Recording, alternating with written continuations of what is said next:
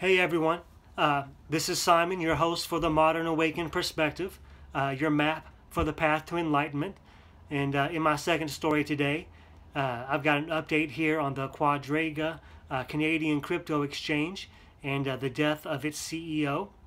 before I get into that, I want everyone to please, you know, give me a thumbs up and subscribe if you like this content. Also, the comment section will be open if you have any opinions on this uh, this uh, you know crazy story and how it's evolving. Uh, if you uh, agree or disagree with uh, you know my perspective, that's fine. Uh, but by commenting and by liking and subscribing, it helps this kind of content be found by, by more people. Okay, let's get into the story here and the update on the Quadriga exchange. Um, basically, uh, to give you a little background on it, $150 million worth of cryptocurrency seems like it was mostly Ether uh, from the Ethereum blockchain, uh, was lost or compromised once the CEO, Gerald Cotten, uh, passed away unexpectedly in uh, India while he was supposedly uh, on a mission to build an orphanage there. Sounds like he was a good guy if that's what he was doing, but it's been called into question that you know, whether he actually died or, or you know, maybe he faked his death. And after some research, it shows that uh, the area he supposedly died is known as an area where people can uh, can fake their death quite easily. And there's uh, people that sell death kits, and there's people who are for hire doctors and and uh, witnesses to say that uh, you know that you actually did die, and you can have all these forged documents there. But what's really interesting about this story is that uh, he supposedly died in December, but yet up until mid-January, um, some of the assets there uh, continued to be moved. Now, if uh, he was supposedly the only one with access to the private keys, which allows you to uh, move the coins around in the storage in the cold storage wallets.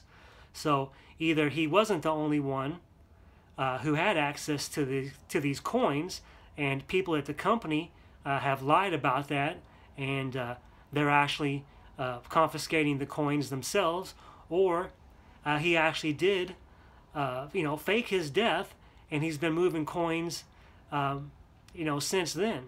So either way, the 115,000 customers of this Canadian crypto exchange are getting bent over.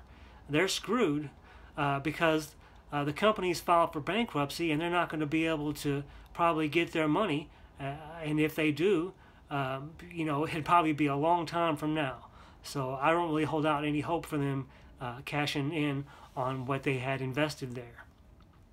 Now, um, also, it seems that uh, he was notoriously, uh, Gerald Cotten, the CEO, was uh, pretty uh, paranoid and, uh, you know, really into making sure that his coins were well protected. That's why he had them in the cold storage wallet. He also had some uh, on an even bigger exchange known as Kraken.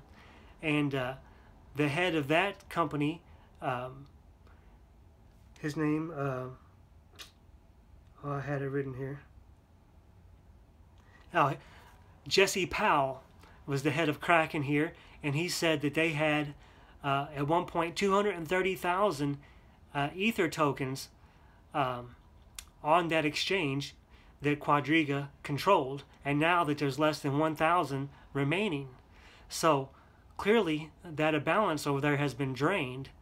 And uh, again, with the people who are smart enough to analyze the blockchain through like blockchain explorers, uh, they can tell, uh, even though they can't access the wallets, they know whether the wallets uh, contain assets or not and uh, they haven't been able to, to show any assets for what Quadriga uh, owns and uh, the, the uh, addresses they control.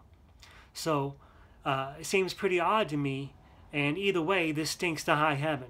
Uh, like I said, the customers are screwed. the money's either conf been confiscated by the employees that remain at Quadriga, or the CEO faked his death and he's ran off with the money. So either way, uh, this is some sort of a, a scam going on, and this is just another reason people need to control their own money. don't leave your coins in the hands uh, or even gold and silver. Don't leave that in the hands of some other third party. You need to uh, be your own bank, basically. That's what cryptocurrency and the blockchain allows you to do. So you need to take advantage of that freedom. Uh, be your own boss and be your own bank. Uh, be your own boss also if you can. That's the way to go. All right, guys. Uh, that's my little update for this story. I thought it was worth mentioning that uh, after he supposedly died, uh, coins are still being moved around. So um, if you like this story, give me a thumbs up. If you like the content, subscribe. Uh, whether you like it or dislike it, you think I'm jumping to a conclusion, whatever, uh, please feel free to leave a comment so a discussion can take place. All right, thanks, guys. I'll see you on the next one.